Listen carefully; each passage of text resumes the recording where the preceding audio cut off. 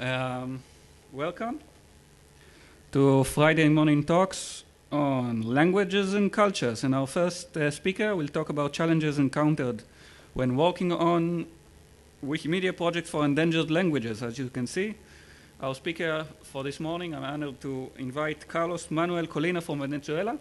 Is that right? He has been contributed, uh, uh, contributing to several uh, Wikimedia projects, including uh, the uh, Spanish Wikipedia, the Judeo-Spanish Wikipedia. Maybe, yeah. I, the floor is yours. Okay.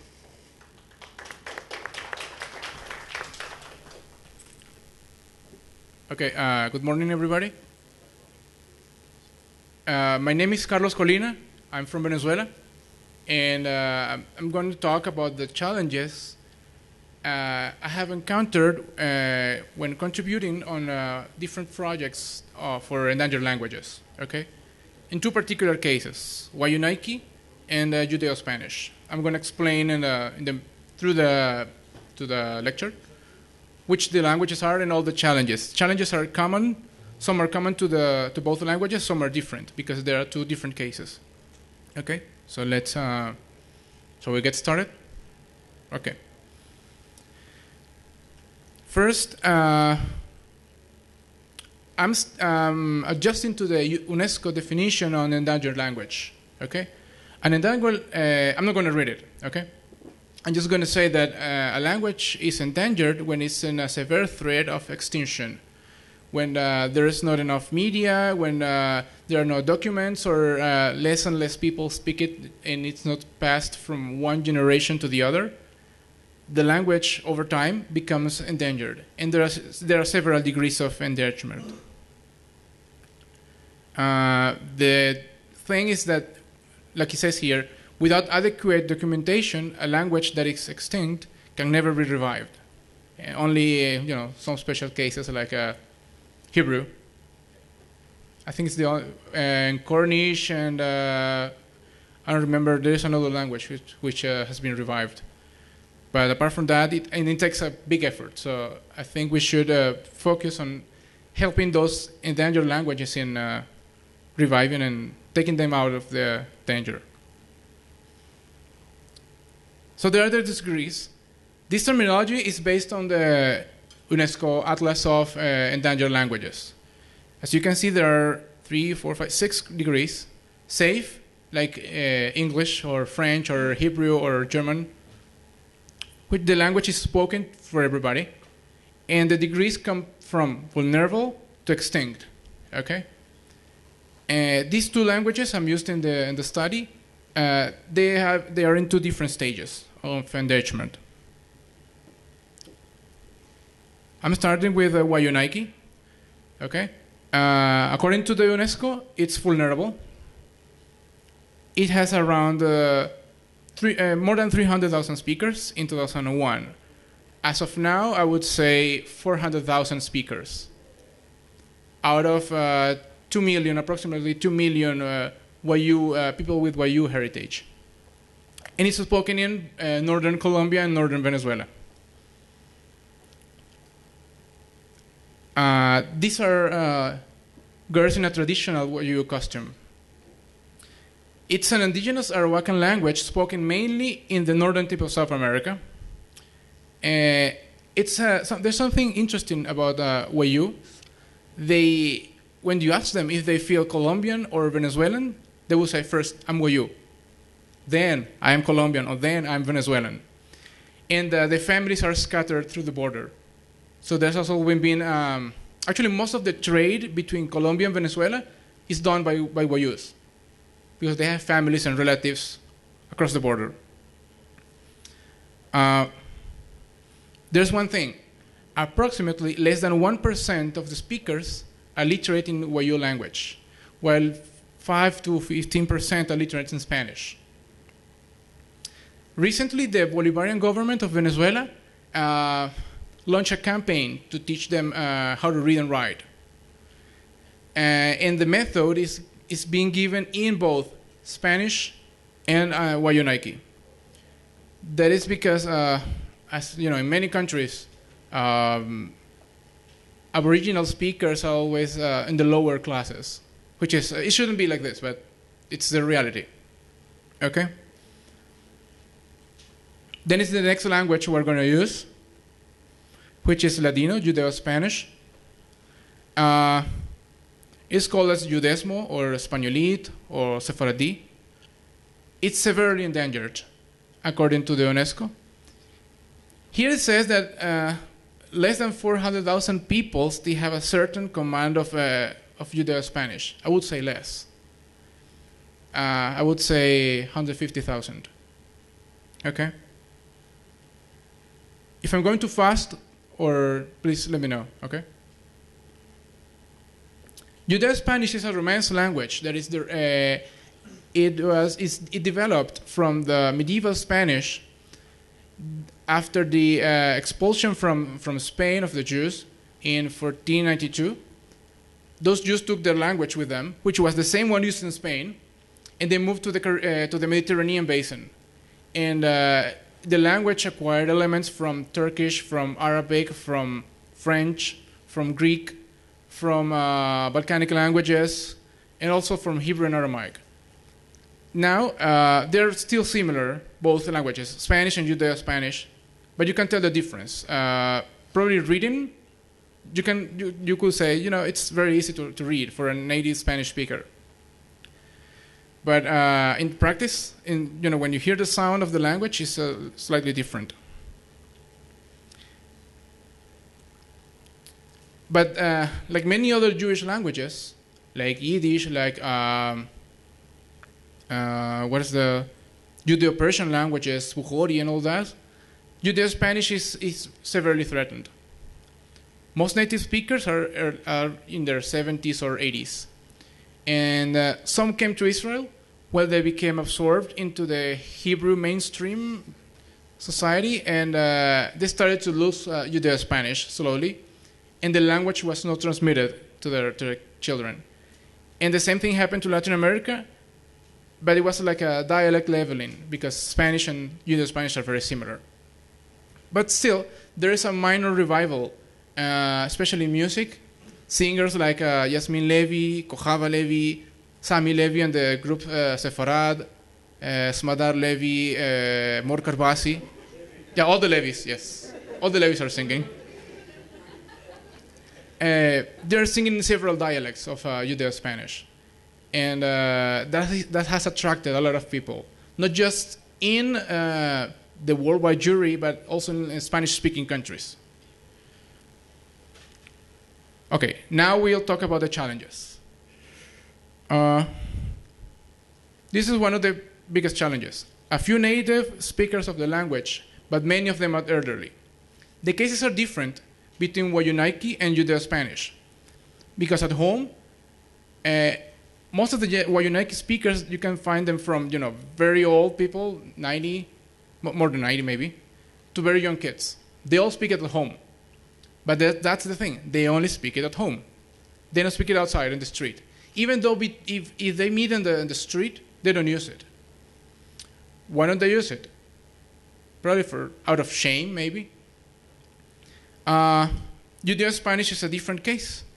Approximately 20, 21% speak at a native level, but they are very old. They're in the 80s, 90s. And to get a Wikimedian in their 80s is not easy. I mean, not that they can't. They can, actually. Uh, come on, uh, they are. I don't know how how do I say this? It's uh, harder to teach them, you know, how to use a computer. They're not acquainted with using a computer.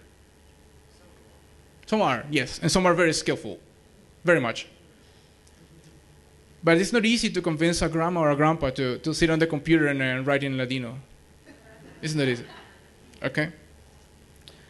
Uh, there's another thing. The language is neither regulated nor standardized. And that's a problem that affects both languages. Okay? Wayuunaiki is mostly oral. Um, there, uh, there is no language regulation, but there is a NGO in Colombia uh, that designed a series of educational books, and they, are, they have uh, seven, eight schools throughout the, the, the northern Colombia, uh, teaching uh, the whole set of education from early childhood to high school, entirely in Wayuu, which is great, and they have these books, but the language is still not regulated. The language is very uniform. There's only like one mainstream dialect spoken by and understood by everybody, but there's no institution that regulates that set the rules. Judeo-Spanish is a totally different cases. There are probably 17 or, or 18 different dialects. And most are written in a different, uh, with different orthographies. So you can imagine the, like we, like we say in Hebrew, the balagan. Yeah. Then there is the social diminishing of the language. Uh, Wayuunaiki is mostly an oral language. Uh, what happens here is that, as it happens in all Latin America, the uh, the Aboriginals are, you know, we are looked at, you know, weird, like low class people. They are not. Actually, they were the first ones who arrived to the continent. So they are the original people of the continent, and uh, many people don't show respect to them. They consider them second class citizens, and that's that's really awful. And it has happened that many have chosen to change their, their last names, their family names, to a more Spanish speaking sounding name. What happens in Judeo Spanish is that there are different, I'm just saying, 17 different writing systems. You see them all, okay? And uh, just imagine to write in a Wikipedia with all those writing systems. So I go and write in a Aki Yerushalayim orthography, and then uh, somebody comes and corrects it with French orthography. Just imagine, you know, the mess it can be sometimes.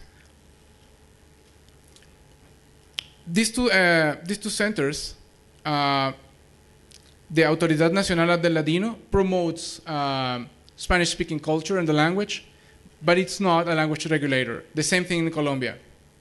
They are raising awareness. They're doing a big thing, but uh, in my opinion, there is not enough um, government support. I mean, we are all citizens. Uh, Judeo Spanish speakers in Israel, part of, this, of, of, the, of the country. We need support. The same in Colombia and Venezuela. Like I said, the marginalization of the group of speakers.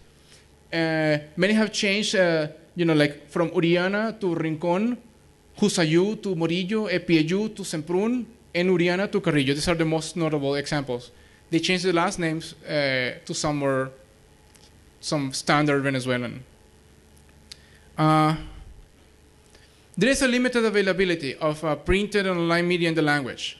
In Judeo Spanish, there is. I mean, there is uh, newspapers, magazines, online forums and communities, and there is even radio.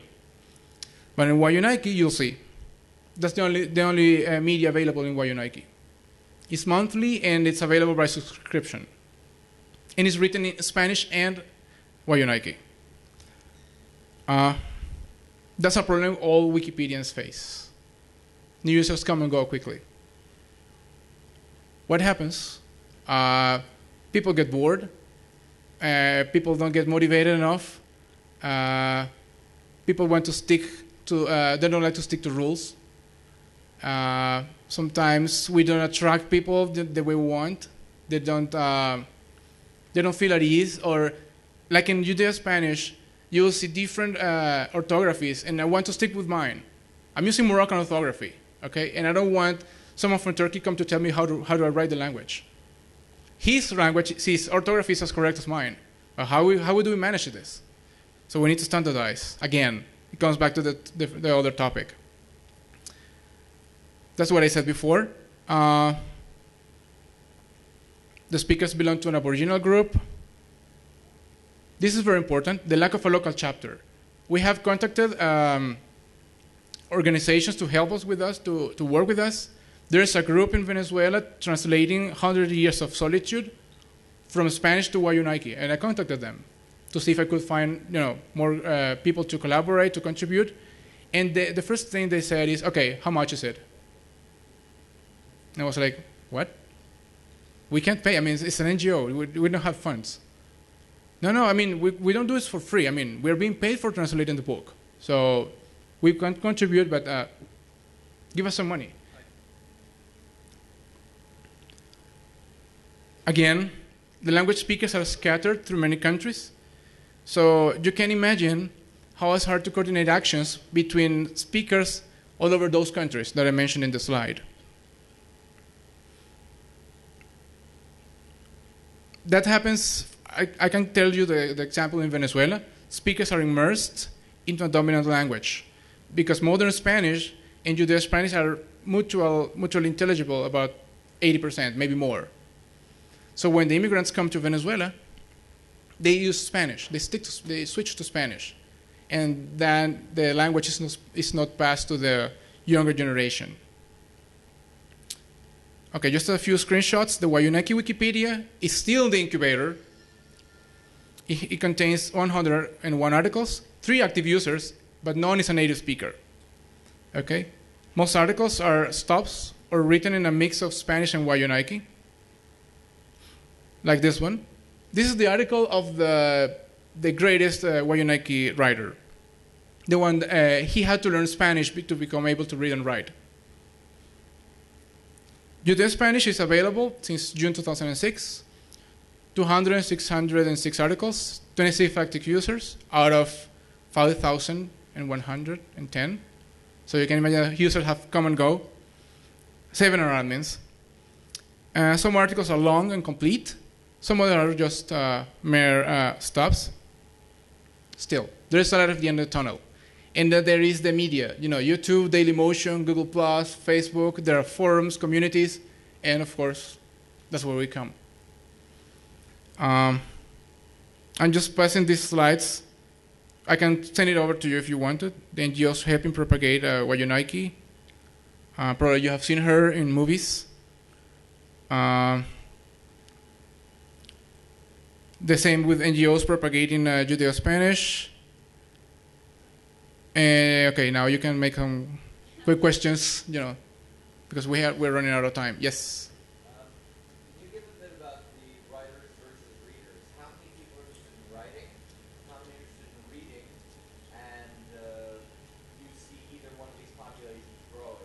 Okay. In Judeo Spanish, you can tell that the there is a big difference between reading and writing. Because reading is very similar, since it's very similar to Spanish, probably like relations can be can eight to one, readers versus writers. In Wayuunaiki, it's almost the same, one to one, because just a few know how to read and write. And most in Venezuela, they work in the construction industry, you know, they're putting blocks. That's what they do. And many do not know how to read and write. Yes?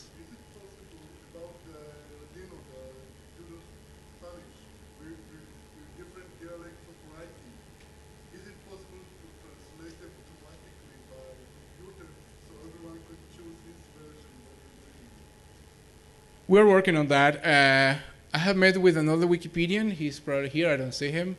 Ah, he's sitting over there. Um, to help set a script that you can write an article in, like, we have a set of four dialects for orthographies, and you can move from one to another. At least the basic four, you know, the, the, the most used ones. Yes? You mentioned that uh, uh, the languages are not uh, regular, but uh, uh, there are many major languages that uh, do not have a central uh, regulating body. Yes. So is, uh, I wonder, is uh, centrally regulating the body really necessary to say?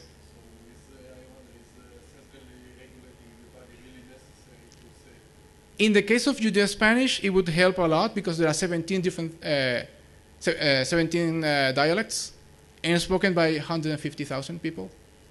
So when writing becomes a, it becomes a mess, because th- there's one thing with uh, with wikis that everybody can contribute. So if you do it in your in your dialect, I can go and change yours.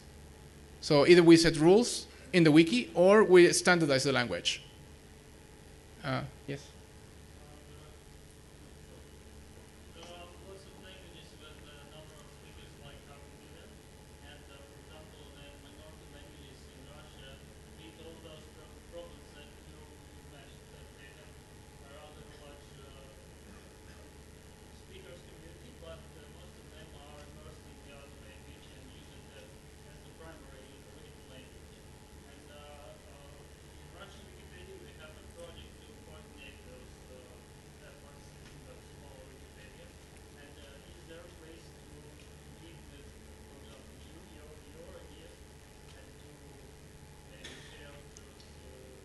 Okay, uh, the three users of uh, uh, on Wayuunaiki Wikipedia be also contribute to the Spanish uh, Wikipedia.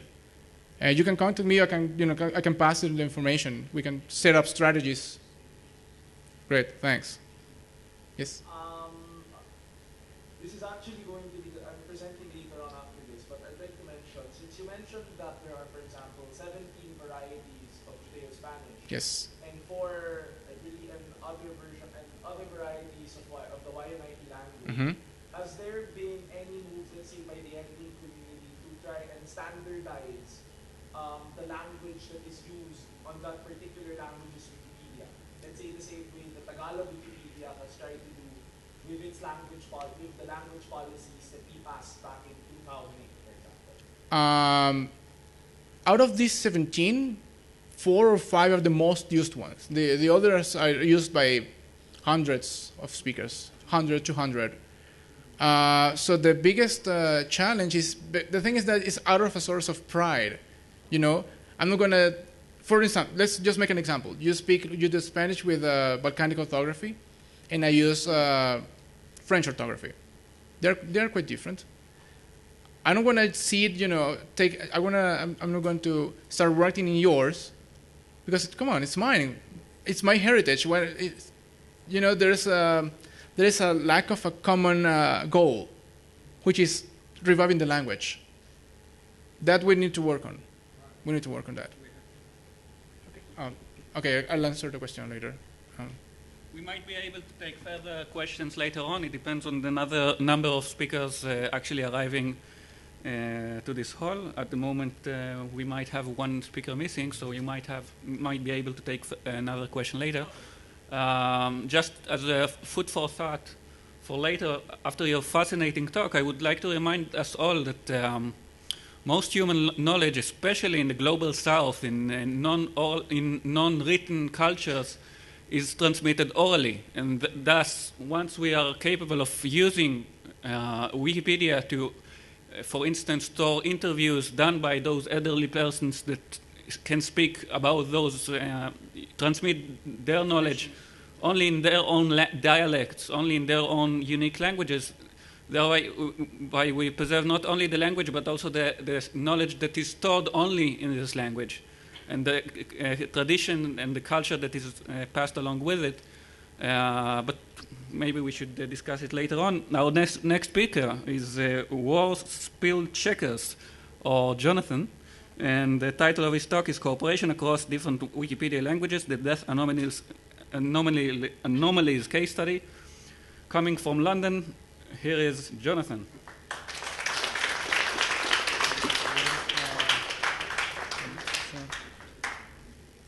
Thank you.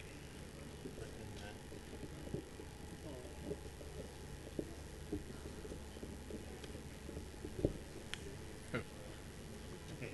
Good Wikimania.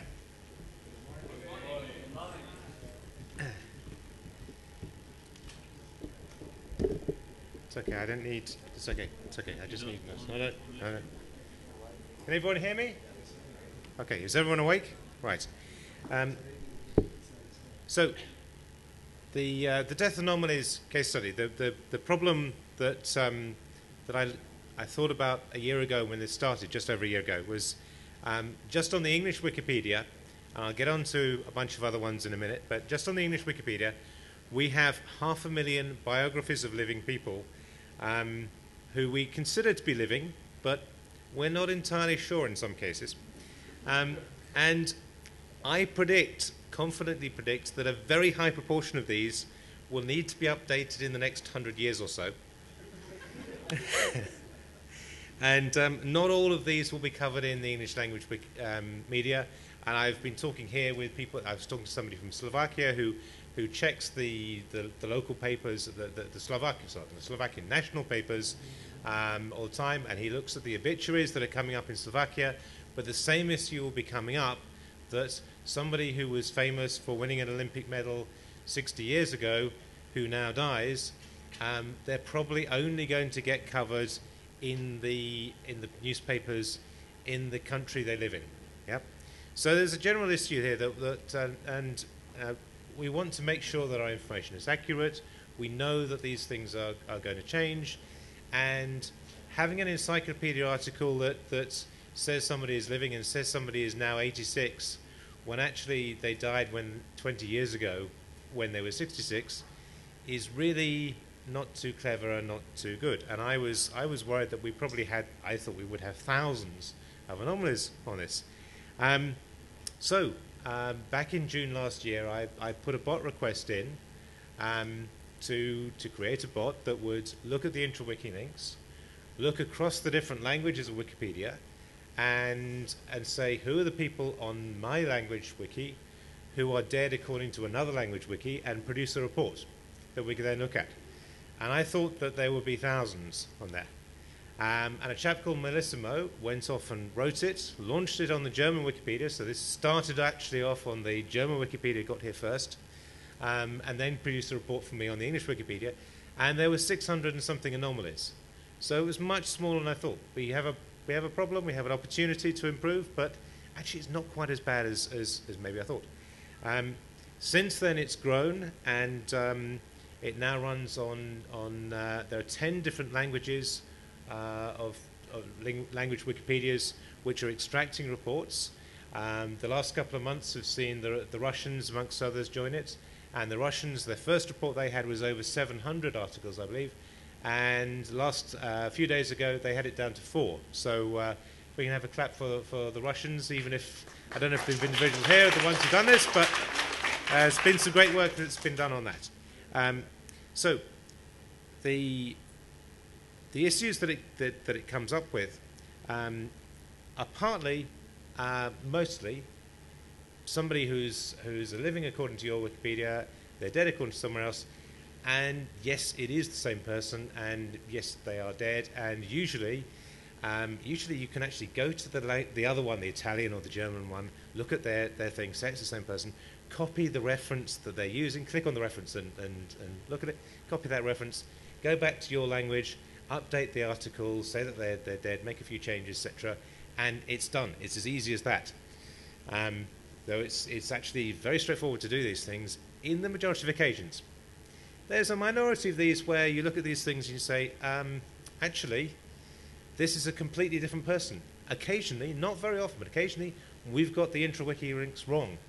And, um, and you then wind up going across multiple languages, as I sometimes do, and you find that we've got five people where, five, five languages where we have a biography of a 19th century German composer, and three languages where we have a biography of a 20th stroke 21st century American baseball star. They happen to have the same name, and according to the intra-wiki links, they're actually the same person. So, um, in order to fix the intra-wiki links, if anyone's ever fixed an intra-wiki link, it took me a, a couple of attempts before I realized you have to then go to all eight articles and take off the, split them into, effectively into two groups, take off all the unnecessary intra-wiki links, because if you leave one, the bots will come back in and they'll repopulate the thing. And I, and I saw one article recently, I was splitting one of these apart, and I was on, um, I won't say what language Wikipedia was on, but I was on a particular language Wikipedia looking at that, and I saw the edit history of this particular article mainly seemed to consist of somebody taking off an incorrect intra-wiki link and a bot putting it back in again. and then it goes back. And that was half the edits on that particular one. And because I'd taken it off all the other ones, so I took it off that, it, it, it hasn't come back on there again. Um, so, what have we achieved with, with this? Um, with the, the 10 languages that we've introduced this in, um, and, and actually going beyond that, I've now, I now have edits in more than 20 different languages. I'm a fully qualified Englishman. I only speak one. I can order a beer in about five or six other different languages, but I've edits now in more than 20. Most of those edits are simply taking off an intra-wiki link. Um, I went to the Latin Wikipedia um, a few months ago where we had a, an article on a, a, a teenage um, movie starlet on English, and according to the link, according to the report, uh, this girl was had an artic- had a, a biography on the Latin Wikipedia, and she was dead. Um, and I went to that and I looked, and it's the same. It's obviously the same article. I speak six words of Latin or something, but it's obvious. It's the same picture. Uh, it's the same structure. It's fairly obvious translation. Um, it turned out same category of, of um, born in 1993, but the person who had originally written it, probably I suspect as translation homework, um, had also put in the category died in 1991. So that was a, that was a fairly obvious one. I didn't need to check for sources and so on. That I just took that off with a slightly apologetic summary and apologising that I was editing in English and etc. and hoping I got it right. Um, and I've now left user pages scattered across 20 different languages with a link to the English one saying apologies for intrusion in the wrong language, and I will just occasionally fix interwiki links, etc. And occasionally it is a case of, of the anomalies that are coming up are, um, are a category error, an intrawiki error, etc.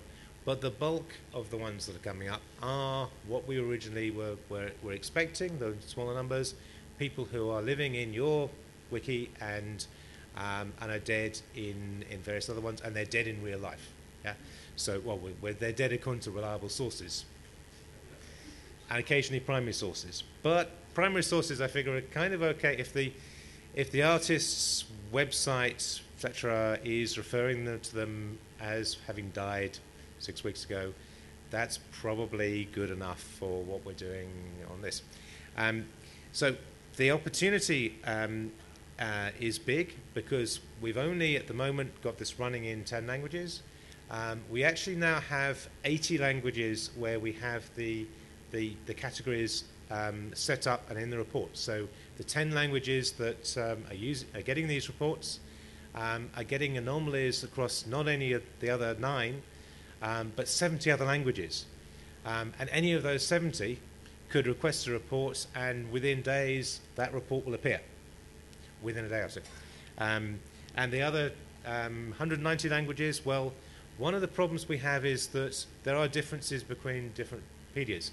And I know that Dutch and some other languages don't have categories such as living people.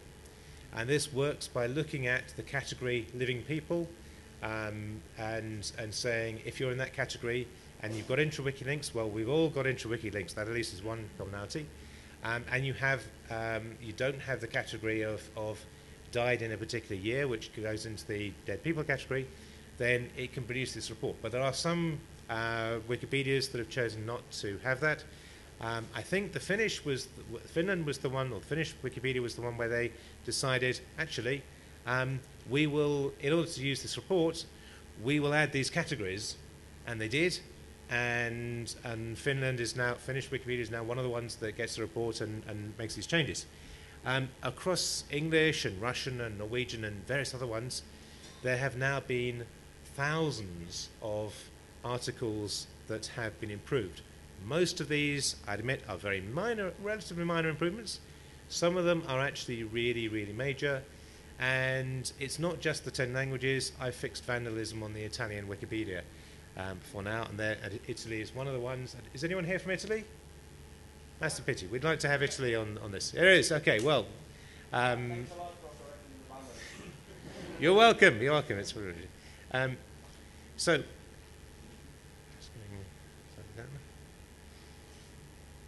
What is achieved? The the few lessons that have come out for this. First one is we can do this sort of thing.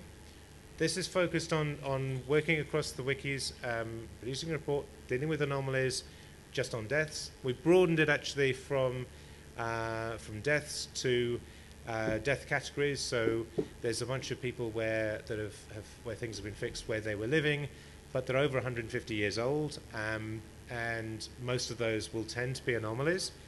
Um, the uh, so it, it could be the same technology could be extended to certain other things. Um, the wikis are developing their own rules, and we're beginning to diverge a bit. So, for example, on the English Wikipedia, um, we only, if we don't know otherwise, we only assume you're dead if you'd be the oldest person alive, or if you'd be, be 115 years old. Um, there are other language Wikipedias which seem to assume it at about 100. So some of the anomalies that we still have are down to these differences between different Wikipedias. And well, that just means that when we're doing these these sorts of things across wikis, we've got to make sure that the the link is, is weak and flexible, and you accept that there are going to be some anomalies that continue because you've got differences on there. Um, and the other thing I'd say is that, from my own experience, once you've dealt with the backlog, once you've dealt with those hundreds, the daily report that comes in and gives you a bunch, gives you actually a really very, it, very good opportunity of meeting a bunch of newbies uh, who've made their first edit on a slightly traumatic basis, probably because quite likely these are the grandchildren, etc., of the Olympic sports person who has just died. Um, but very often, the the anomalies that come up each day on the English one are the the article has been edited. There isn't necessarily a reference. Well, the person may have died last night. Sometimes, literally, aren't they? Um, and it's very often it's a newbie. It's their first edit is to update that, so they haven't added a reference. They certainly haven't changed the category, otherwise it wouldn't appear in the report. Um, but they have actually changed the article to say that this person has, has died. So if you want an opportunity of, of, of meeting newbies, this is a good way of doing it. You just go in and clean up after them and welcome the ones that haven't been welcomed. So, um, any questions um, and any volunteers to take this? Oh, and if we've got somebody from Norway here, is, is Jan Harolds? eh, Maybe not. Okay, I- I know the Norwegians have also um, had uh, a, a big result recently. They, they, they've got 90% of their backlog cleared in the six weeks or so since they got their first report, which is over 700 articles that have been improved on the Norwegian Wikipedia. So, any questions on this? Deathly hush. Any, any countries interested in introducing this? Sorry, there was a person over here and then a person in the back.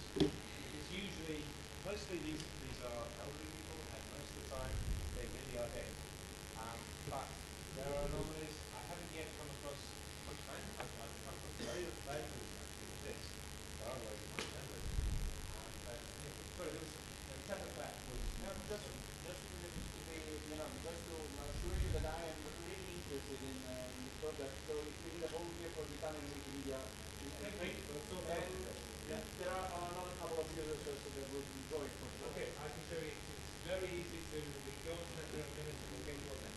Uh, gentleman there. You mentioned that some of the new people were writing these articles for the first time. How one of the major is that they don't source. Can you understand like how important sourcing is these days, and how much it affects a new writer when he doesn't source? Okay. versus a guy who sources?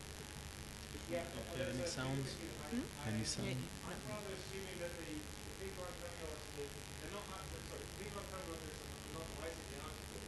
They're going and updating an article that's been there for years to say that last night somebody died. That's a slightly different thing. So, uh, I'm not going, I'm not going to the, the people, the got another question or have I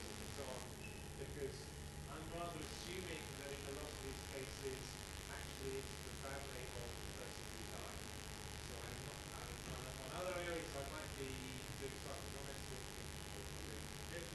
you think uh, that because we are looking at for example that size the sizes Yeah. since the topic as citation now I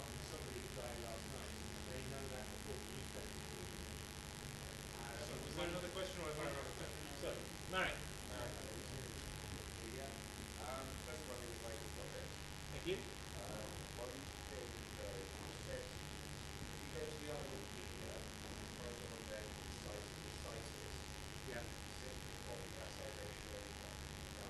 it's a French uh, citation is that good Wikipedia? Yes. Uh, certainly on English, sources do not have to be in English, but actually, quite often I've found when I go to the, the German or the Italian or, or whatever to find this anomaly, and I check on the article there, and I check on the reference they've used, very often I find that they've actually used an English language reference in the other one, so I'm, I'm sort of Okay, that. so say like I want to say uh, Croatian uh, I should find the reference there how can I check if it actually does correspond to the book? Okay. Um, I've used Google Translate, and I've also got a bunch of anomalies on the English one where I, I'm just freaked out by the, sorry, sorry guys, I'm freaked out by the character set.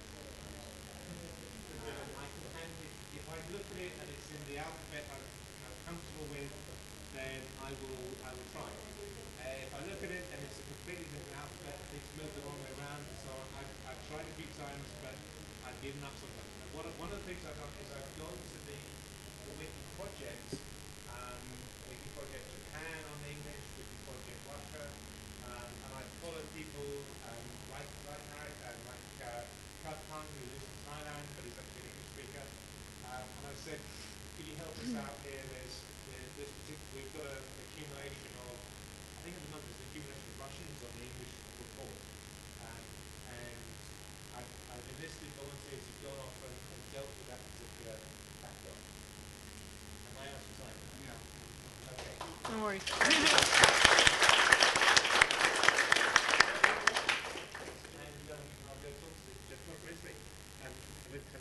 Thank you. Okay, thank you, Jonathan, for a really fascinating and uh, interesting project. And I'm sure uh, the expandability of uh, the idea that you have introduced goes along not only to death anomalies, but uh, in the future time to other kind of uh, uh, updated data. Um, okay, our next speaker, as you can see, is Elektra Pavlik, uh, Pavlaki. Sorry, and you'll be talking about the revival of uh, the Greek Wikipedia, hopefully. Yeah, well, revival is a strong word, but still. the attempted revival of the Greek Wikipedia. No, You're making it worse, but anyway.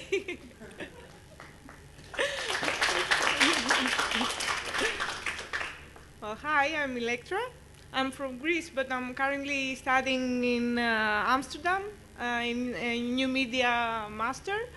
Uh, so, what I'm going to present here is uh, a short, well, not that short, uh, summary of my thesis, which is a report on uh, the development of the Greek language Wikipedia. So, it's getting developed.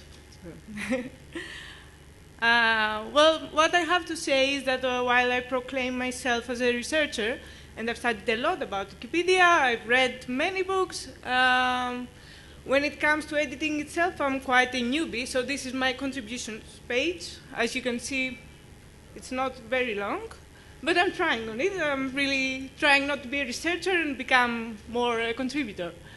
Um, and I would like to say that my title is kind of misleading. Maybe that confused you a little bit because uh, Wikipedia is not a Greek language Wikipedia is not that small. It's an average. But then my title would sound a little bit. It would not be that catchy. You know, average Wikipedia has great expectations. It would not be that catchy. So I had to do something. Uh, so, and there's the proof. Uh, some Truth in Numbers is a movie. I don't know if you've seen it on Wikipedia. Uh, I kind of stole the title. I hope that uh, they forgive me. Uh, so the Greek language Wikipedia was founded in 2002. Uh, it currently has 63,700 plus one articles. That was the last night I checked it. Uh, I don't know now. Uh, 2 million page views, July 2011. 86,595 registered users but 40 to 45 highly active editors. So what we see here is that um, the numbers are not quite. I mean, you can see that there, there is a quite significant number of people reading Wikipedia, visiting Wikipedia, but you can see there's a, a significantly smaller number editing Wikipedia, and not to mention the highly active editors, which are uh, quite small core community. So we could talk about inequality of participation and the slow pace of development, uh, especially when we compare it with, um, with countries or uh, language editions that uh, have about the same speaking population as Greece or even less. Uh, for example, Czech Wikipedia, you can see it has uh, almost 200,000 articles. Uh, the Swedish one, the Dutch one, the Catalan one. So yes, uh, we are a little bit behind, I guess. There are many reasons for that, but I don't think I have time to elaborate on it. Maybe later. Uh, so every every community uh, gets really creative when it tries to get big and stronger. So what uh, the community of the Greek language Wikipedia came up with was a campaign, uh, the I Participate in Wikipedia campaign, which was uh, first presented in TEDx Athens in November this year, and the official launch was in January. Uh, συμμετέχω σημαίνει, uh, means I participate. Um, so here are the aims of the campaign. The main aim is to make Greek language Wikipedia truly useful in both daily life and education, which means, in numbers again, that we have to reach the critical mass, uh, which is over 100 articles. And just to make it more symbolic, we used to, uh, we'd like to, to, to mention 120,000 entries so that it sounds. Uh, bigger, I guess. Uh, what does that mean? To enrich the Greek language Wikipedia, to develop the encyclopedic culture, to sensitize the broader public, and, of course, to attract new editors, which is a virtuous cycle, one brings another. How are we going to do that? Experiential workshops and presentations. Where? Across Greece. I guess that's not very specific. So uh, uh, it's at libraries, schools, universities, conferences, associations, wherever we are invited. Uh, this, the audience we address to teachers, librarians, academics, students, broader audience. Again, whoever is interested in listening to us. This is a map of the workshops that have already taken place all over Greece. Uh, for now, it's 32 workshops. As you can see, they're pretty distributed all over the map. Well, most of them are in Athens, of course. Uh, more than 600 participants have already attended the workshops. Uh, with the yellow color or whatever this color is, uh, it's just presentations because there was no uh, infrastructure uh, for, uh, there was no computer room, for example. The white colors are the workshops and presentations, and the red one is the very first workshop that took place. So this is what a structure, uh, the structure for workshop would look like. I mean, this would be the ideal structure because most of the, most of the time some of the goals did, did not get completed, of course. Uh, so it was like a tutorial uh, teaching people how to edit Wikipedia, but also introducing them, first to introduce them to the concept, uh, to inform them on the campaign, to navigate them on the main page, uh, to, to edit, uh, teach them the formatting tricks, for example, um, teach them what it is the discussion page, uh, new entry creation, which was the hardest part, I think. Uh, and because many of uh, the attendees were teachers, uh, there was also a part uh, for how Wikipedia could be used in classroom. So um, why did they choose experiential workshops instead of, for example, the pretty known banners on Wikipedia or other type of internet campaign? To train participants through hands-on practice, to meet face-to-face and interact, which is all, it was also very interesting, actually. Um, as Jimmy Wales quoted yesterday, we should not be afraid to be human. So that's what Greeks did before Jimmy Wales even thought about it. Imagine that. Uh, so, and the third reason is to make the campaign viral. It's the easiest way to gather people. It's the most probable that they'll ask you, so where did you go? In a workshop. What was the workshop about? Etc., etc. So we did have allies in this attempt. We are not all alone. Uh, actually, we did have strong allies. Uh, the Ministry of Education, I'm not saying the whole title, that's the summary. Uh, Greek Free Open Source Software Society, which is a non-profit organization. Greek Research and Technology Network, which is a state-owned um, organization. It, what did they do? The Ministry of Education actually um, proclaimed 2011 as the year of digital encyclopedia, which was really useful because teachers felt that they had now the green light to use the encyclopedia without being semi-outlaw. Uh, uh, what they did also is that they incorporated the campaign as part of their digital strategy. And another one that was also revealing was that they tried to link electronic textbooks with Wikipedia, which came up with a very long list with, with a very long list with red links. Uh, well, the other organizations did gave us money, uh, had the connections with uh, the libraries, the schools, etc. And of course, they provided, they funded the workshop material. Uh, in the middle, you can see there was a concise guide for beginners, which was written by a teacher in uh, the island of Kefalonia, which was distributed in all the workshops. Um, and the cookies, I must mention, it was really useful. So here am I. Uh, what was my mission? To follow the workshop, to observe and participate, to take interviews from the mentors, and to follow digital traces, by which I mean I followed the discussions in the Agora. This is our village pump. This is uh, how it's called in the Greek language, language Wikipedia. Uh, pretty interesting debates. So, my general findings. Um, the audience. Oh my, there is an edit button. So that was, I think, the most revealing finding for me because I was kind of shocked. They, uh, when we first asked them, everybody said, "Yeah, I'm a pretty heavy user of Wikipedia." Especially the students were, uh, "Come on, who are you to talk to me about Wikipedia? I, I copy paste all the time." so when I asked them, "So uh, let's edit the article," mm, where is the edit button? They had never noticed the edit button. There was also a video that was talking about that, uh, the blindness that comes up when it comes to the edit button. So uh, the next question was also revealing because who edits Wikipedia? These are the answers that they gave us. Journalists, academics, writers, experts, and people who write encyclopedias. I don't know who they are.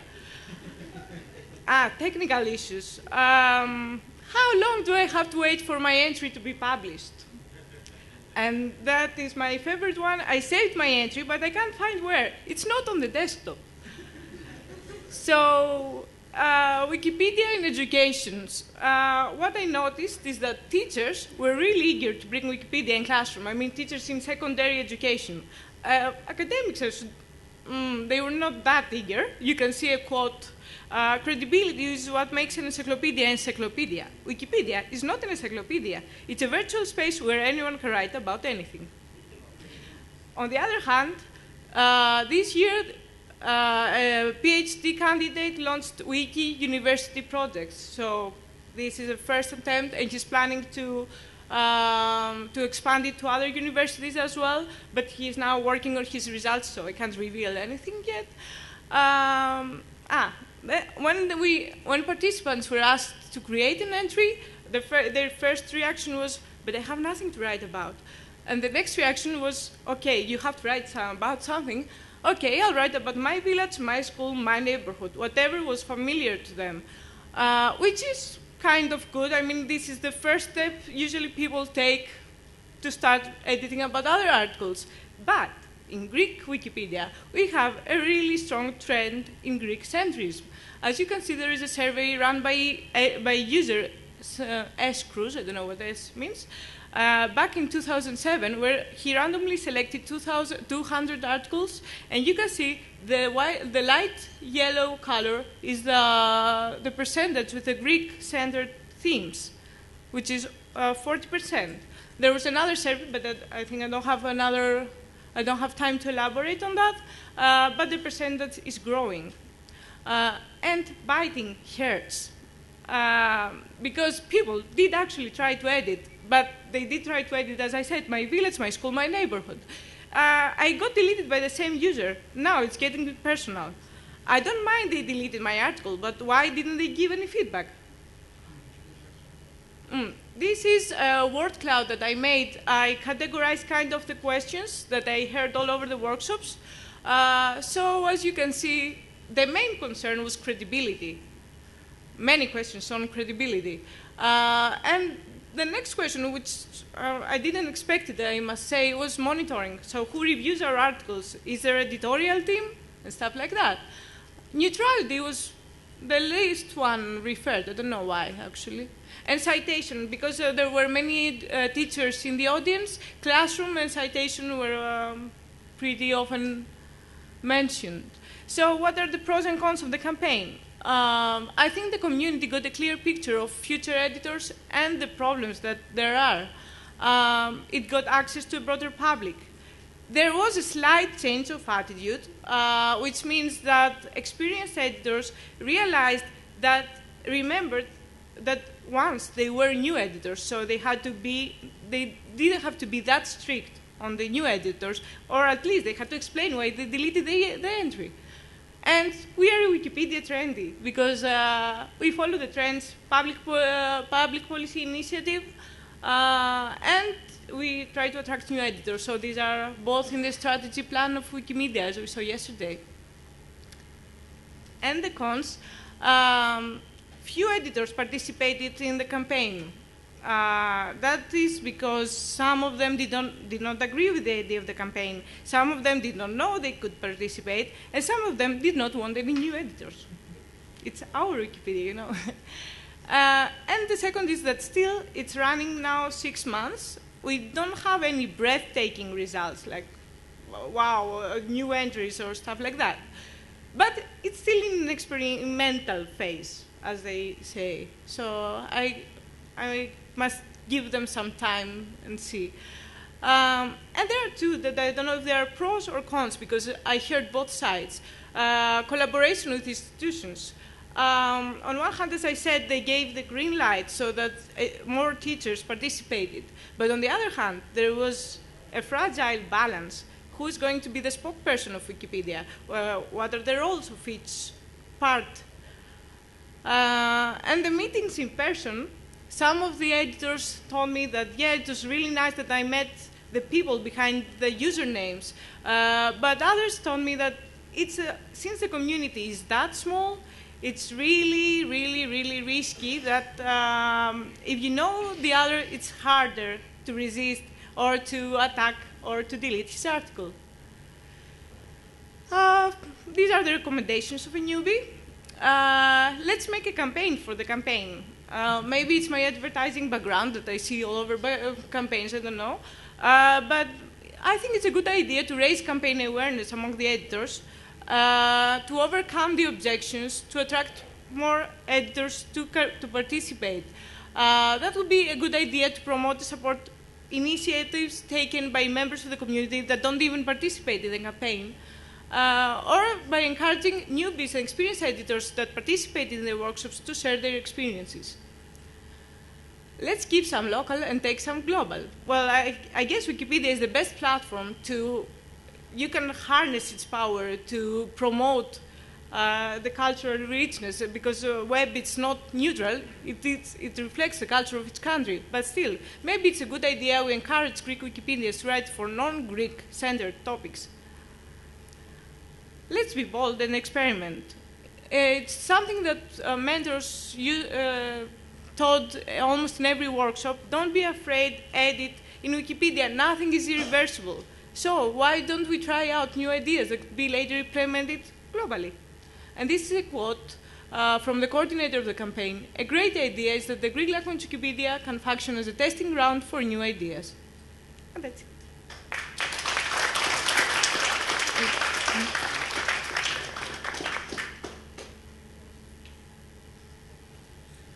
Yeah. looking for smaller Wikipedias in uh, Russian or uh, or like in minority languages, we uh, tested different uh, methods to find new editors and we found that the most effective one is to find them in large Wikipedias in one editors and persuade them if they To know come. persuade them to participate. Uh, that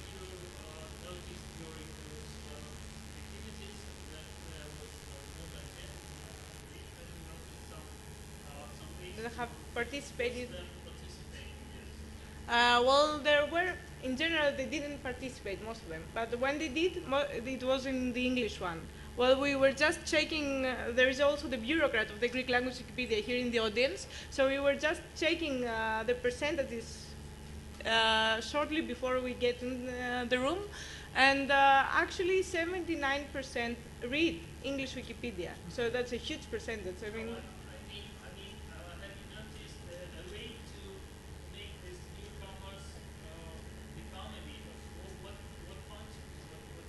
Yeah, I don't know what uh, what.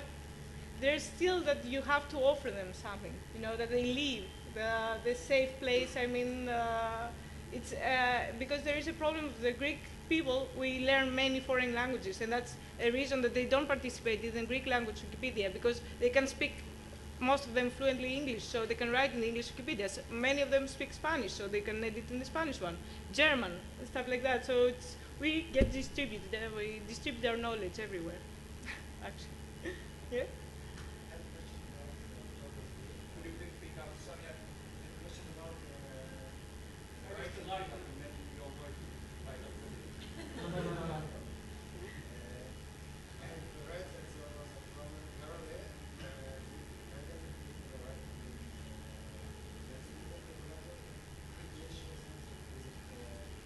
In the Greek religion, you said? Ah, Greeklish. Uh, no. Well, as I said, I'm a newbie and I'm not uh, the right person to ask about that, but I've never heard of people writing in Greeklish. What do you say? I was had two or three people uh, writing in Greek and uh, it wasn't uh, allowed. It's uh, not something uh, that it's uh, used to. Yeah, I don't think it's a common problem.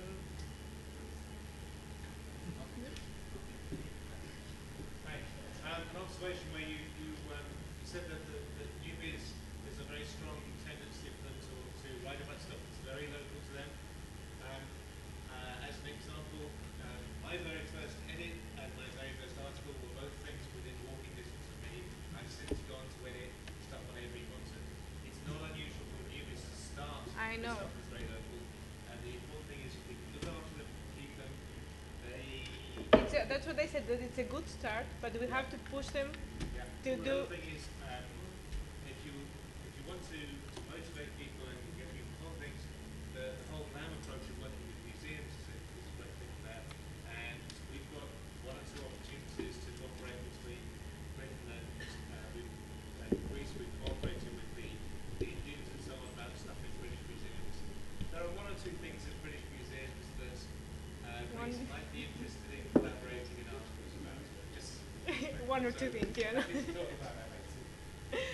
Uh, well, the thing is that uh, it's the Greek centrism that we have to pay attention to. That's my that's my point. I know that it's a good start, that it's it's the best thing to write about something you feel familiar about. But first of all, most of the villages are not notable enough because there are no sources to support, for example.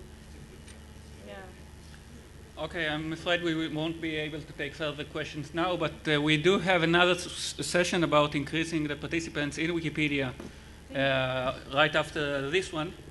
Uh, I could even tell you where it should take place, blah, blah, blah. Um, well, we'll look later on in the um, schedule. Our next speaker, uh, thank you very much, Ilektra, sorry. Uh, our next speaker is uh, Josh Lim, who should be speaking about language policies on the Tagalog Wikipedia. I'm sorry for taking uh, several minutes of your precious time, but uh, the stage is yours. Thank you. I should warn you um, and everyone watching here today that this is arguably the longest presentation at Wikimania. This is 55 slides long. So I will be breezing through some of them, but don't worry, the presentation is designed in such a way where no slide should take no more than 20 seconds on the screen. Uh, I could, just in case. Um, but the title of this presentation is May kalagitnaan ba ang wika? Isang pagsusuri ng mga patakarang pangwika ng Wikipedia ng Wikipediang Tagalog. In English, it's known as Is There a Middle Ground to Language? An analysis of the Tagalog Wikipedia's language policies presented by Wikimedia Philippines um, largely um, by the four people that you see there on the screen myself, James Joshua Lim, Joseph F. Ballesteros, who's over here, the president of Wikimedia Philippines, Eugene Alvin Villar, who is somewhere here in the present um, in Wikimania, and Frederick A. Kaleka, who is currently in the Philippines. And if you read the Wikipedia blog, has just been blogged about recently as part of the Wiki Histories Fellowship. This is um, the wiki. This is what the um, what we call the Wikipedia Tambayan Talk. We met with officials here on the right from the Komisyon sa Wikang Filipino, also known as the Commission on the Filipino Language, where we coordinated with them on the implementation of the Tagalog Wikipedia's language policies precisely because the language policies in themselves are very controversial and have elicited many complaints and many comments over the last few years. But we'll tell you the secrets, I guess, to the longevity of the policies, as well as whether or not the policies have had any discernible impact on how the Tagalog Wikipedia is viewed. But first, let's begin on the background of the Tagalog Wikipedia. Let's have some fast facts. The Tagalog Wikipedia was founded in December 2003. We didn't know the exact date, but according to the Internet Archive, the first ed, the, the page came up on November 30, 2003, at least US time. In the Philippines, that means it's December 1, 2003, and we finally settled on that date for the Wikipedia 10 celebration. The Tagalog Wikipedia currently has about 53,000 articles, and per the decision of the Wikimedia Foundation's Language Committee on several occasions, because there have been proposals for a Filipino Wikipedia, which I will talk about later, as well as the Tagalog Wikipedia community itself, Tagalog and Filipino, also known as the national language of the Philippines, are considered to be the same language because there is no real difference between them, and that will be discussed later on, although they are legally different different. Although it has only the second largest number of articles, the Tagalog Wikipedia plays a de facto role as the largest Philippine Wikipedia project. It has the most number of page views at almost 11,000 page views an hour. Compare that to the second largest Wikipedia in terms of speakers, the Cebuano Wikipedia only gets one-tenth of the number of page views the Tagalog Wikipedia gets. It has the biggest reach of speakers at over 90 million people, and the Philippine population population is expected to reach 100 million this year. And it has the highest level of depth among all the Philippine language Wikipedias with a depth of 18. Although they say that depth is not really a measure anymore of how quality a Wikipedia is. However, I'd like to tell you now that language in the Tagalog Wikipedia did not have an easy history. And this is because of the many debates that have taken place in the Philippines, both politically and non-politically, over the use of language and the role of the Philippine languages in everyday life and in academia. So let me now go on to the second part of this presentation, which is a history of Tagalog and Filipino as the basis of the new national language. In the Philippine Constitution, it says that the national language of the Philippines is Filipino. As it evolves, it shall be further developed and enriched on the basis of existing Philippine and other languages, and subject to the provisions of law. And as the Congress may deem appropriate, the government shall take steps to initiate and sustain the use of Filipino as a medium of official communication and as a language of instruction in the educational system. The regulator of Filipino is the Komisyon sa Wikang Filipino. However, criticism has come, of, has come by the KWF saying that it does not really do its job. But we have to analyze why the KWF doesn't do its job and how does this reflect on the Tagalog Wikipedia. Remember that, as I mentioned earlier, there have been several debates as to how the national language has been formed, and it begins here with here with the national language has always been part and parcel of the debate over national identity. What was to be the national language has been debated for the last 80 years and continues to be debated today and will probably continue to be debated in the years to come. It begins with this man named Wenceslao Vinzons. He is a Filipino congressman born in Indan, Camarines Norte, which is a province south of Manila. It's about 400 kilometers south of Manila. He was known as a student leader, an advocate for the unification of Malay speaking Southeast Asia, and a supporter of Philippine independence from the United States. At the age of 24, Vinzons became the youngest member of the Philippine Constitutional Convention, which drafted the 1935 Philippine Constitution, which was supported by the United States.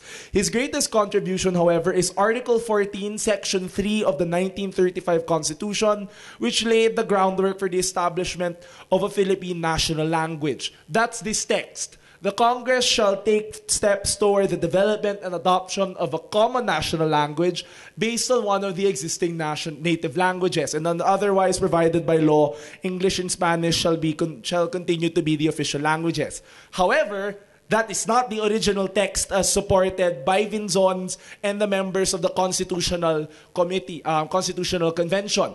This is the original text. If you compare to the other text that I showed you earlier, you'd see that instead of based on one existing language, it says based on existing native dialects. This was because the text was changed as the draft constitution made it to the Committee on Style of the Constitutional Convention, which was tasked to finalize the document. This was done ostensibly under the influence of the man revered today in the Philippines as the ama ng wikang pambansa, also known as the father of the national language. That's this man, Manuel L. Quezon also known as the second president of the Philippines and the first president of the Philippine Commonwealth. Manuel L. Quezon was a staunch advocate of the creation of a Philippine national language. He constituted the Surian ng Wikang Pambansa or the National Language Institute in 1937, the forerunner of today's KWF, which pursuant to the 1935 Constitution eventually concluded that the new national language should be based on Tagalog. But of course, now we have to deal with the debate from Tagalog to Filipino, fact, fiction, or both, or basically whether or not Filipino really exists as a separate language. As you can see in this photo, you have lots of English-Filipino dictionaries. But in the Philippines, you have English-Filipino dictionaries. You have English-Filipino dictionaries of a P. Legally, Filipino and Filipino are different languages. And you have English and Tagalog dictionaries all of which supposedly are the same. And in fact, one of the most authoritative dictionaries in the Philippines is a dictionary by Father Leo James English, which is a Tagalog dictionary. Treated the same way as, let's say, the UP Diksiyonaryong Filipino, seen to be the most authoritative Filipino language dictionary, is seen.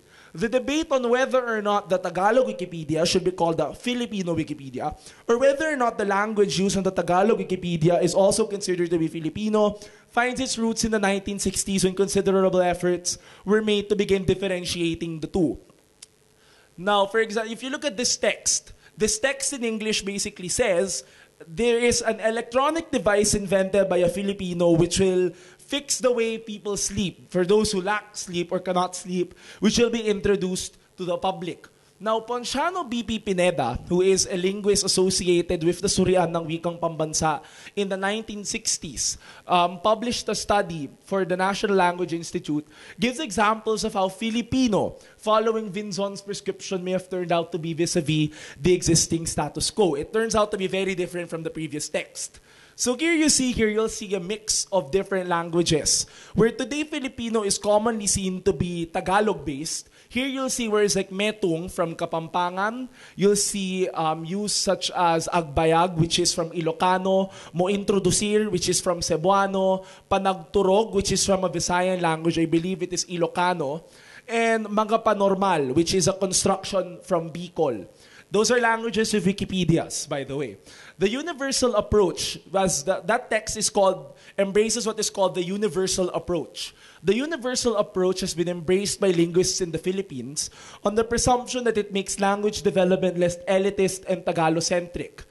Quoting here from um, Dr. Yabes, who published a book in 1977, Leopoldo Yabes, by the way, he says he, Cecilio Lopez, a prominent Filipino linguist, said that before, before until 1963, his method of language development was elitist, which aimed to form a national language to be based on only one nation, on only one language, which in this case is Tagalog.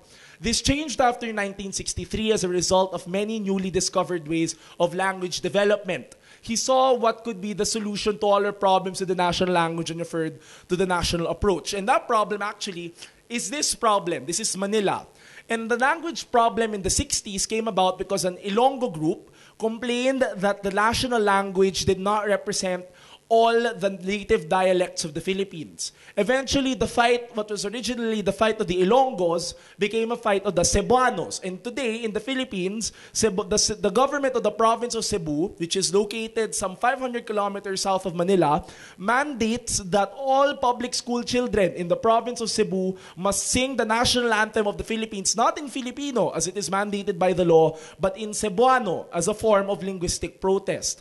The reason why you see Manila here is because of a phenomenon called Imperial Manila, where people in the provinces claim that, you know, the Philippines is Manila and they feel left out. Yes. Well, with what?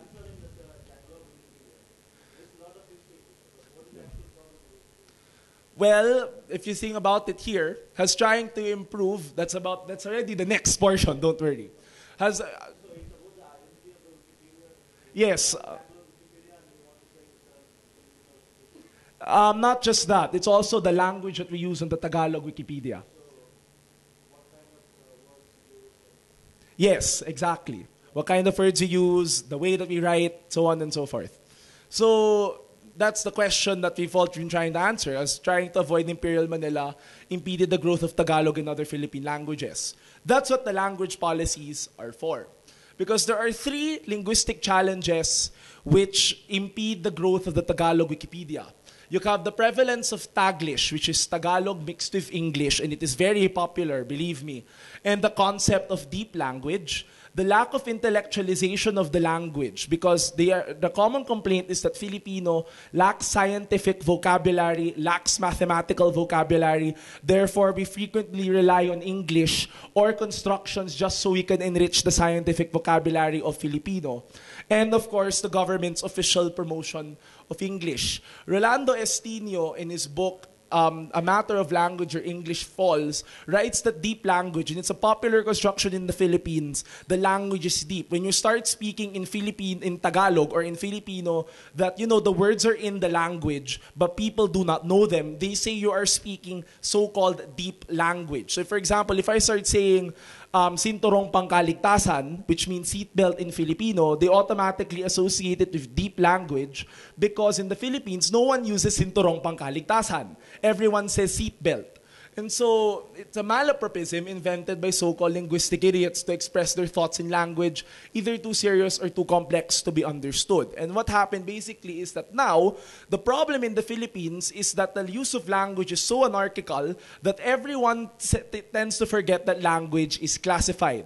So essentially, you have people speaking in Taglish, which is supposedly a colloquial form of Tagalog or Filipino, and they use it in their academic papers in academic discourse. A problem of the Tagalog Wikipedia is that we frequently encounter articles written in Taglish in comparison to articles being written in Greeklish, for example. Simply because a lot of the terms being used in, the Taga uh, in Tagalog are no longer being used in common discourse. And so it's Taglish is a manifestation of deep language where English is used instead of native terms. Consequently, the native terms die and are fallen out of use because the terms are no longer used. You, um, the second problem now is lack of intellectualization. You have this man he is um, Senator Manuelito Lapid. Where you have this phenomenon where you know your ATM machines are only in English or in Taglish. You don't have an ATM in English or Filipino. Because in 2004, Senator Lapid files a bill mandating the use of Filipino in business transactions. Vetoed by the President of the Philippines at the time, Gloria Macapagal Arroyo, because Filipino supposedly has terms which are not fit for public consumption. As to what not fit for public consumption is, we do not know. And to this day, she hasn't been able to answer that even if all the court cases being thrown against her. And lastly, there have been moves by government officials to promote English often at the expense of the native languages. You have this man named eh, Eduardo Gullas, who is a representative from the province of Cebu, as I mentioned earlier. He has filed bills repetitively. It's called the Gullas Bill where in a bid to increase the competitiveness of the Philippines, English should be the language of me, uh, the medium of instruction. It's opposed by pro-Filipino groups because they claim that it, it unfairly it unfairly places an advantage on English at the expense of the native languages. And therefore, when you want to use a computer in Filipino, it's impossible because the government does not support the policy of intellectualizing Filipino. If any of you have seen the Filipino language pack for Windows 7, believe me, when you install it in your computers, it is absolutely horrendous. You will see terms mixed with English, you will see Filipino terms, and so on and so forth. Yeah. So, what has the Tagalog Wikipedia done to address these three issues? We have passed language policies to ensure that we use proper Filipino or Tagalog in the, in the articles that we write. The Tagalog Wikipedia's language policies revolve around the trifecta of translation, standard borrowing, and standard spelling, all revolving around the official orthography passed by the Commission sa Wikang Filipino something that a lot of Filipino language users tend to ignore because, you know, we grow up with what our language teachers have taught us. The language policies, therefore, of the Tagalog Wikipedia seek to balance the two extremes of Tagalog and Filipino language development. Purism, which is, you know, you can invent terms to create new words which are not expressed in Tagalog, or universalism, which borrows heavily from other languages, especially English, by establishing a tangible, concrete middle ground. These are the policies. Yes, they understand that they're in Filipino. But in summary form, basically it is use the Tagalog term if the Tagalog term exists and try to know the Tagalog term as much as possible. If the term does not exist, then you can begin borrowing. Try um, if you cannot find if the borrowing is wrong, other Wikipedians will correct it for you. Use Tagalog, Filipino, and Filipino dictionaries. If there are no equivalents in Tagalog, you may borrow from other Philippine languages as is the standard for the Commission sa Wikang Filipino. And you can try to translate it in Filipino, Tagalog if it's still possible. But if, when it comes to Tagalization, make sure that you use the orthography prescribed by the Commission sa Wikang Filipino. Use references when you find unknown words that you want to introduce into the Tagalog Wikipedia, and you can use a wide variety of texts, including the Bible which they say is one of the most authoritative Tagalog language texts out there. And you may ask for help from Wikipedians, and then um, you go ahead and, excuse me, try to use interwikis, so on and so forth. This is different, however, from the approach of other Wikipedias that have taken in terms of determining what form of language ought to be used in writing articles. There are Wikipedias with language policies. For example, the Latin Wikipedia says that if there are terms which are based on Latin, try to Latinize them. I believe like a car hood has been Latinized. I don't remember what the term is exactly. It's on the Wikipedia article. But there are no Wikipedias, as far as we know, that have language policies as extensive as that of the Tagalog Wikipedia uh, of the Tagalog Wikipedia. Simply because we want to avoid this problem. On the left, you have what they call Tagalog in common parlance. On the right, you have Taglish, or to many linguists, Filipino. You can see that we have, a, we have a Filipino term for the, for the River Thames. It's the Ilog Tamesis, borrowed from Spanish. But no one uses Tamesis anymore. The last time someone encountered the term Tamesis was in was in the book published in 1879. And so everyone now uses the word Thames. No one has encountered Londres, the name for London, also borrowed from Spanish. Everyone uses London. If you watch newscasts that involve the UK as a subject, of the news of a news article, everyone says London, London, London instead of Londres, so on and so forth. But it begs the question, is information better delivered using formal or informal styles of writing and speech? During the Wikihistory's fellowship, we were informed by um, the fellow who who's doing the Tagalog Wikipedia for her research, Meredith Artalusan, that in the Hindi Wikipedia, for example, the Indians who are currently watching this can correct me, for example, the language used is informal, where even English, mixed Hindi English, is accepted in writing articles. Is that correct?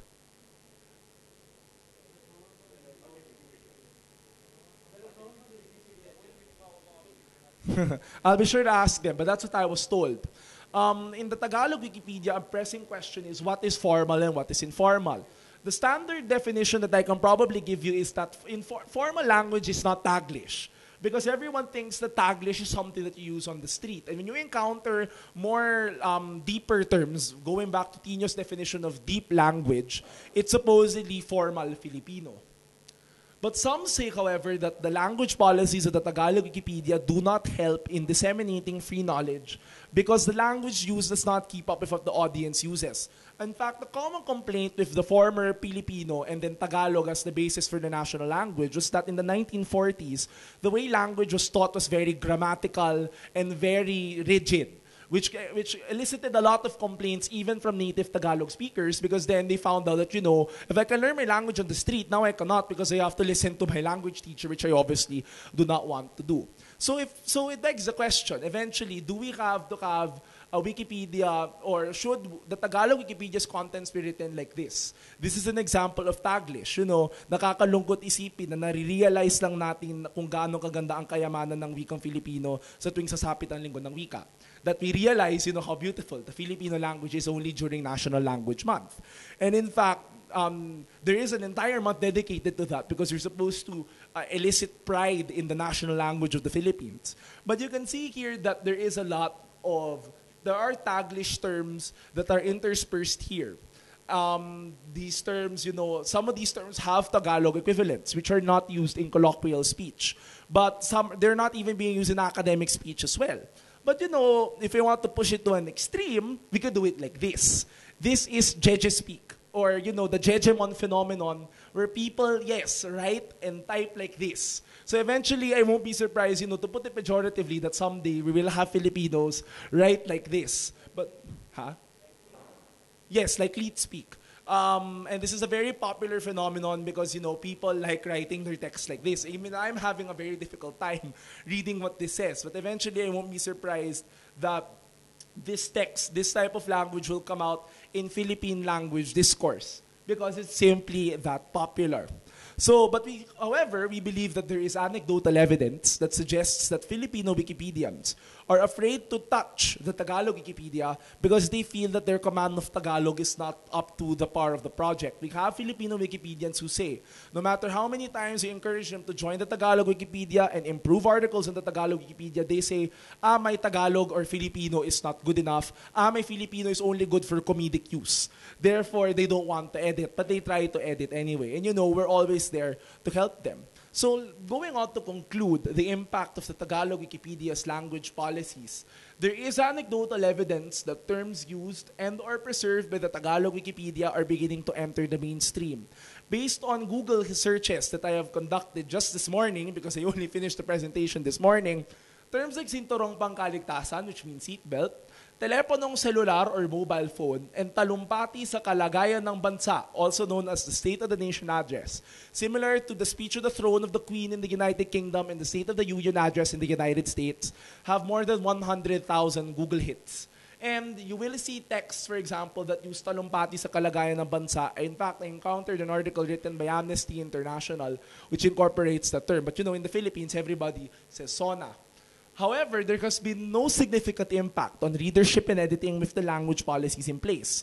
However, editor quality is declining and the community is composed of only a handful of core editors. We cannot really say that that's the result of the language policies. However, we can say that that is something that for us in Wikimedia Philippines, it is something for us to touch upon because we believe that in order for us to shore up the quality of the, of the Philippine language Wikipedias, we need people and we currently lack people. However, we hope to establish a link on whether or not the Tagalog Wikipedia's language policies really affect the number of people who actively edit the project. For more information on this, this is my paper, Anida Wanta Calling, Fixing the Problems of Philippine Language Policy. It's available on Scribd. I will post the PowerPoint later on the wiki.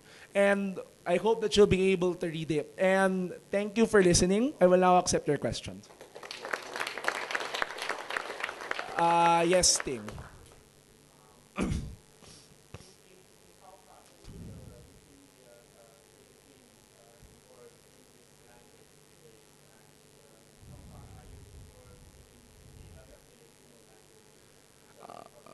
there are eight Philippine languages.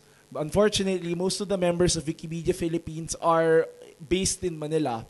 But most of the Tagalog Wikipedians are members, of, the core group of Tagalog Wikipedians are members of the chapter. Jojit and I are bureaucrats on the Tagalog Wikipedia, for example, and we play the key role in the formation of these language policies.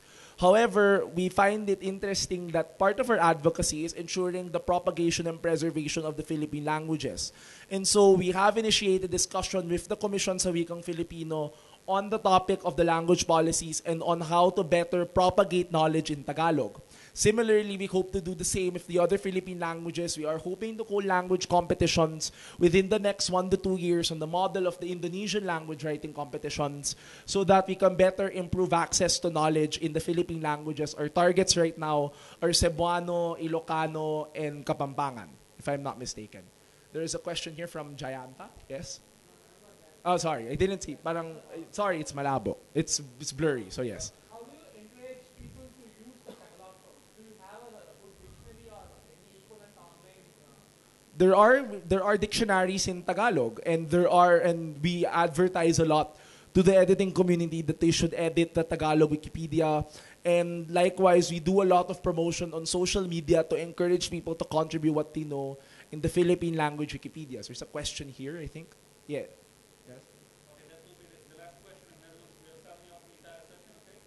Yes. I was just wondering about the role of uh, in the diaspora, outside of the Philippines. Mhm. What degree is there? You have a very rich exposition of history located in the Philippines. A large number of uh, Taiwanese and outside of. What involvement? Are they, do they have a, a stand? the the coincidental thing there is actually there are only pl- the three places where there are more than 1 million Filipino speakers. It's the Philippines, Saudi Arabia, and the United States. There are 31,000 Filipinos in Israel, 6,000 in the city of Haifa. And I see a lot of them for some reason every day when I go out. However, yes, yes just, just yesterday I encountered a Filipino going to the post office. But to answer your question, incidentally, we only have one core Tagalog Wikipedia editor uh, based outside the Philippines. And a lot of the Filipino Wikipedians who edit the Wikipedia projects from outside the Philippines are like the majority of Filipino Wikipedians. They edit the English Wikipedia. And a lot of them, and some of them, in fact, are raised in households where Tagalog or Filipino is not the first language. In Hawaii, the first language of the majority of Filipinos there is actually Ilocano. So when you see someone holding a sign, you're from the Philippines, you see a sign saying, I speak Ilocano, and you try to talk to them in Tagalog, they will look to you dumbfound, they will look at you dumbfoundedly because, you know, we can't presume that everyone speaks Tagalog. So um, there isn't really a lot of involvement, but we hope to see more involvement from the Filipino from the Filipino communities located outside of the Philippines, especially when it comes to language development. And so, thank you for listening my, to my presentation. Yes, and I hope you don't all get mad at me for wearing a Captain America shirt on a Philippine presentation. Thank you can take it. Uh, thank you, Josh. Um, I think uh, one important um, um, conclusion that we are taking from your talk as well as, as from the earlier talks is the influence of our uh, Wikipedia editors on reality itself. On um, if we are talking about endangered languages or languages which are not always uh, used as a primary language for technical uh, uh, terms, for scientific terms. Here we see how, thanks to Wikipedia, languages like Hebrew, like Judeo-Hispanic, like uh, Tagalog, are incorporating into them uh, the proper, the accurate uh, local technical terminology, uh, which is more native and more uh, straightforward for uh, local native speakers. Um, if you're interested in the talks that we have just heard, then you, you will probably be interested in another talk that is given tomorrow morning uh, by Mr. Hari Paras- Parasad. Uh, uh, come here. We'll be having a discussion on languages that use more than one writing system. So that will be tomorrow morning and at the multi uh, lingual projects track. That's so please do attend at, at Gilbao. So please do attend and uh, take part in the discussion. We'll be very happy to uh, take the discussion forward and see what can be done for these languages. Thank you. As for, uh, yeah. As for increasing participation in Wikipedia projects, as we have discussed here, it will take place right after this one in just a few minutes in the Rappaport Hall. So if it interests you, that's your next destination. Thank you all.